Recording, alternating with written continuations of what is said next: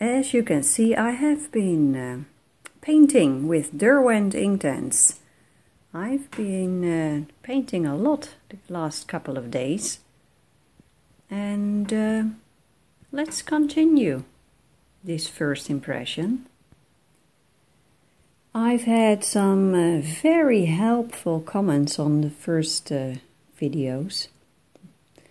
And um, the first one, the first, yeah, I don't think the second is out yet while I'm recording this one. Anyway, you have been uh, giving me a lot of advice about how to use these um, Derwent Inktense pencils and also about the felt tip water brush. I'm not going to try the felt tip water brush again in this video. I will make another video about that.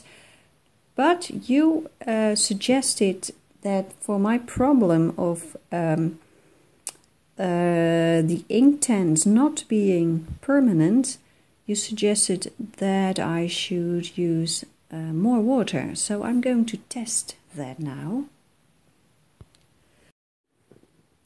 This is a piece of Fabriano aquarelle paper, watercolor paper, good quality. And uh, I'm going to test if I use more water then maybe it does become permanent. So I'm first adding water, clean water to the paper to make sure that there is enough water to, uh, as you suggest, to activate everything. It's wet. Okay. Now I'm going to pick up with this same wet pencil uh, brush color from the brush, uh, from the pencil. Let's see.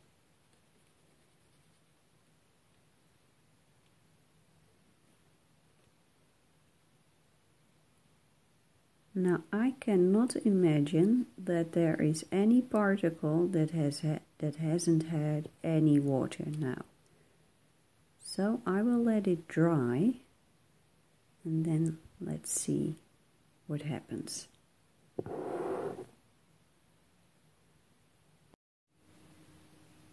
Now that um, the test is drying, um, why not just continue the joy of painting with Inktense pencils? And uh, I think I will continue on this uh, nice little frog here. As you can see, I've been working on uh, shading and layering. I'm going to continue doing that. I'm going to make here add a touch of clean water from the water brush and then I'm going to use a darker brown called willow or no bark just a touch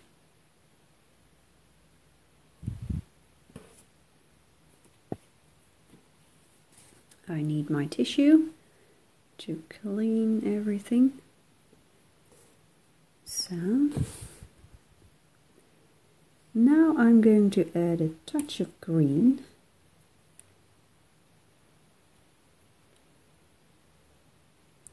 I'm still figuring out whether it's better to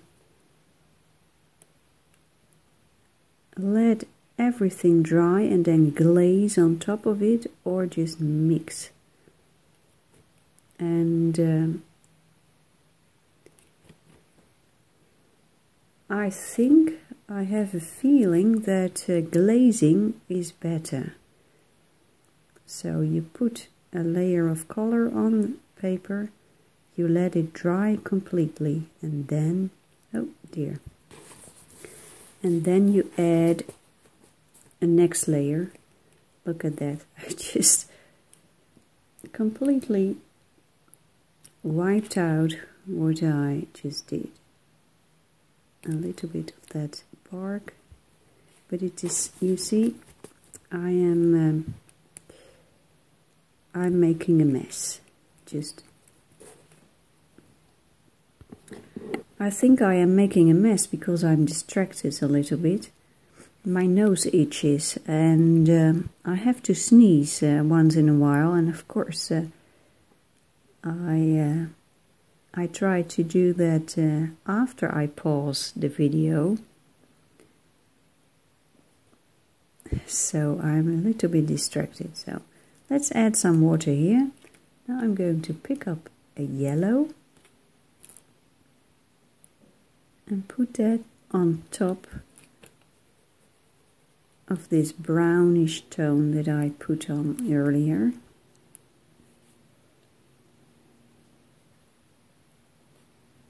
That looks nice.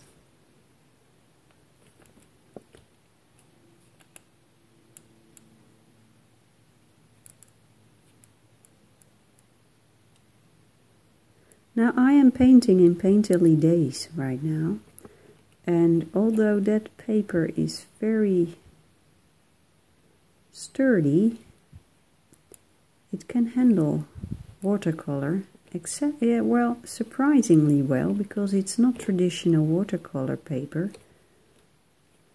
Um, but still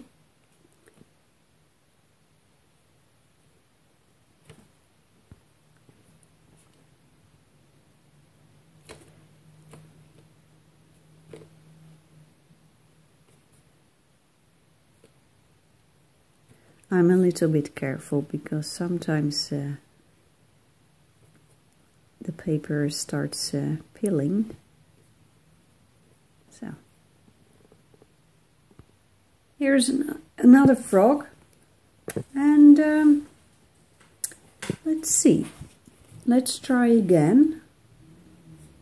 Let's try to do some more um, shading Practice makes perfect. Here is that dark brown called bark. And this time I am not putting water on the paper first, but I'm using the paper, uh, the paint on the brush. So wet on dry. And then I add a touch of water to make it float, flow a little bit more.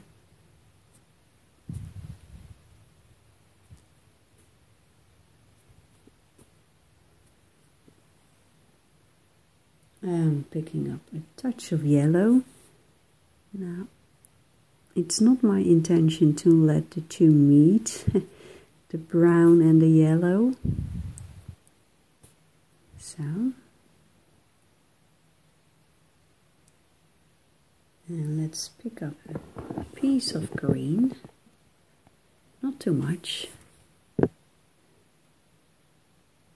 I'm experimenting right now, so I'm also experimenting whether shading with greens or shading with extra colors like brown, what works best.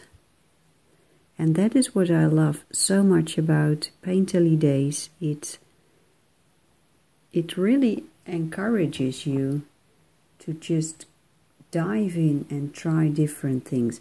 And if some, something goes wrong, every page is in the book twice. So you can mess up as much as you want. Because there is always that second page and you can start over again. Absolutely great idea from Kristy Rice, the author this uh, lovely book. This is a light green. I'm just trying several things. Now I'm going in wet in wet with a darker green. Well, it's not that dark. I don't have very dark greens in my set of 24 Inktense pencils.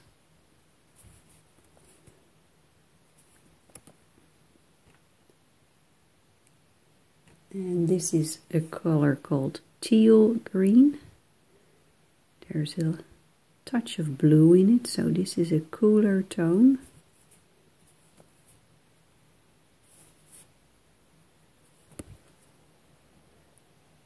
This is the first frog that uh, I worked on and this is the area that went wrong so let's try again. I'm picking up the dark brown called bark. Here we go.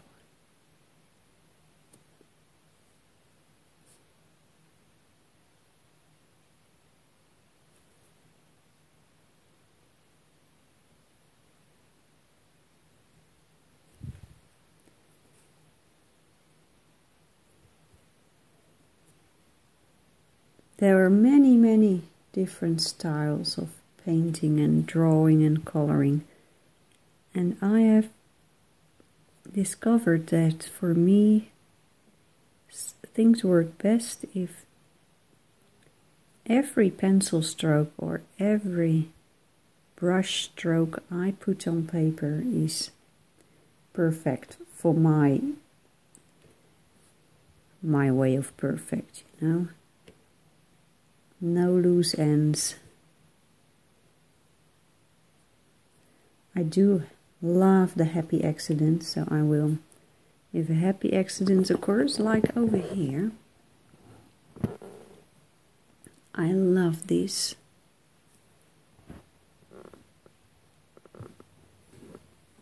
But when it comes to layering and blending, I wanted every layer to be finished. Perfectly blended. And um, well, I think that is the reason that my painting is so slow. It takes so much time, just like my coloring.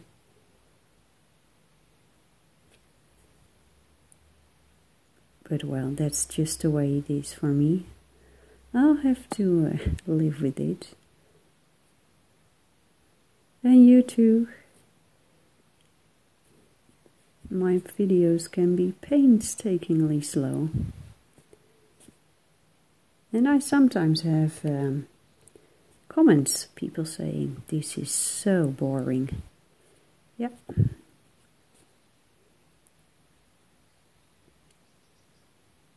Watching it can be boring, I think.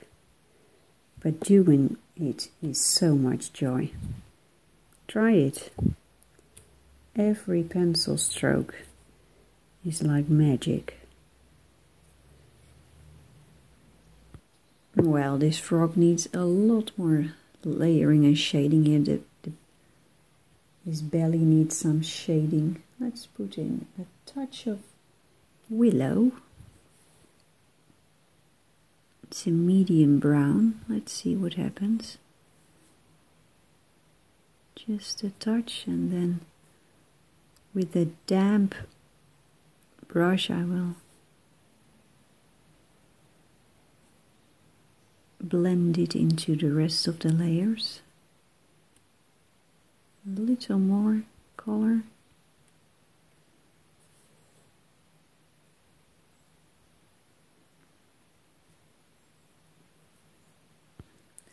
Well let, let this layer uh, dry a little bit and let's see how that testing went on the Fabriano paper. Here it is, completely dry. Now let's make sure that my brush is completely clean.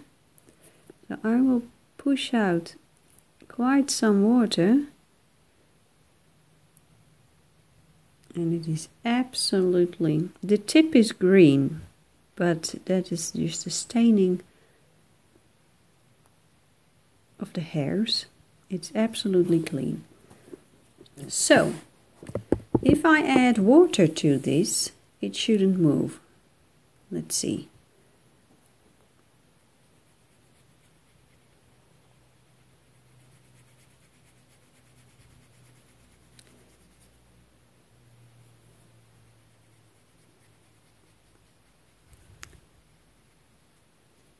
Do you see that?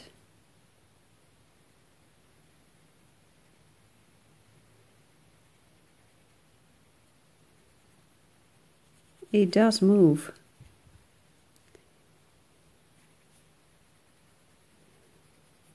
So, in my opinion, this may only be completely permanent when it is extremely diluted if that is the case. Now, it is more permanent than watercolor, that's for sure.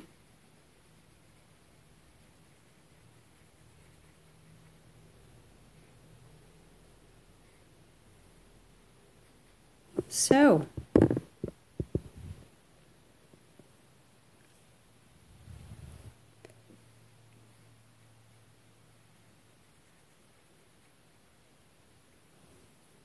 I wonder what would happen if you put this on fabric and put it in the washing machine.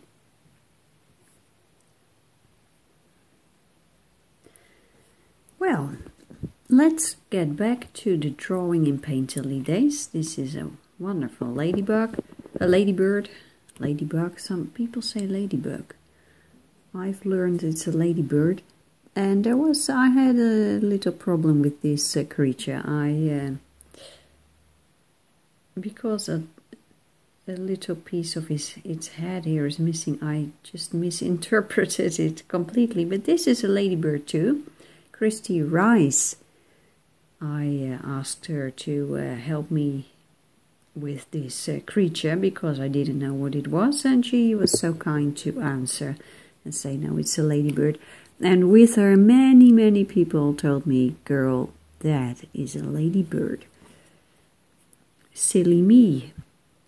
So let's add a touch of water here.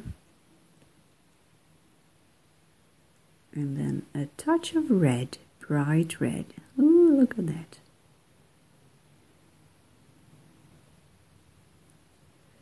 So these Inktense pencils, although they are quite permanent, they are not as permanent as I thought they would be.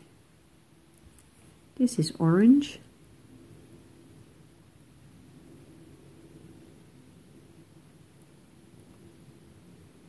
So keep that in mind that if you add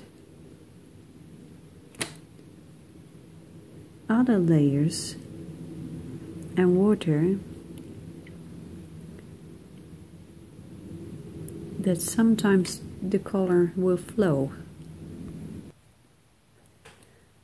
I'm also figuring out whether mixing the colors on paper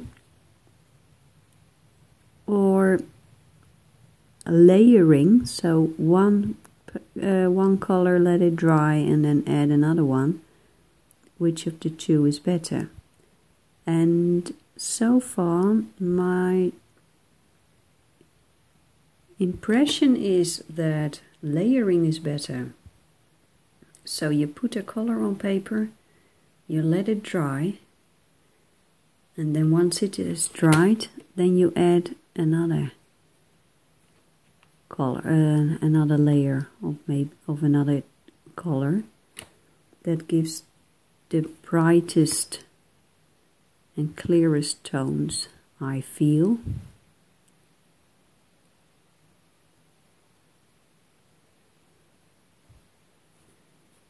You guys also suggested that I should um, watch a couple of artists who use uh, Inktense. Two of them I know. Lachri, Lisa from Lachri Fine Art, of course, I've seen doing her wonderful things with Inktense. And there were two others. The first one I have seen too, but the other one I didn't know about. So thank you for suggesting that.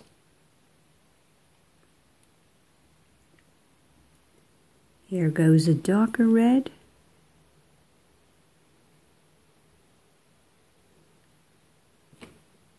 I love ladybirds, beautiful animals.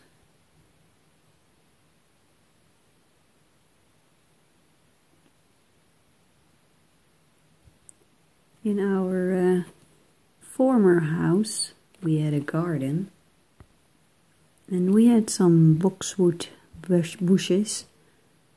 And every springtime, huge amount of uh, ladybirds came out. So I'm not sure if they've been hibernating there I think they have. Somewhere in March, on a sunny day, all those ladybirds would come out of the boxwood bushes and head for the apple trees. Thank goodness, because they would there eat, feast on uh, lice. I think you call lice, you say lice in English. Let's pick up a little bit of black.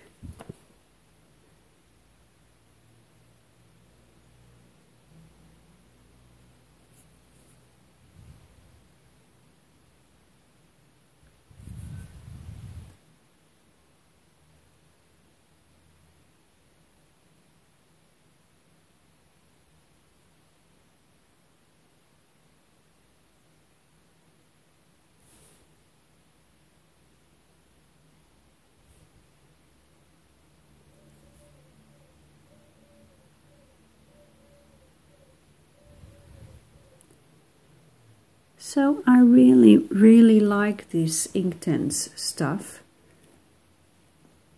But I'm really using it like a watercolor paint, I think. So I'm never putting a pencil stroke on paper. I'm taking the, the paint from the pencil with a wet brush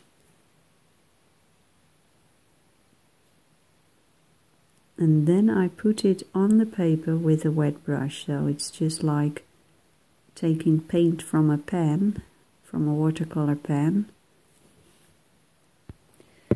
So because I'm taking the paint from the tip of the pencil, you can see it has a very strange shape because I am picking it up like this. Well, there's another color there, but and then I'm sure slowly taking off more and more pigment.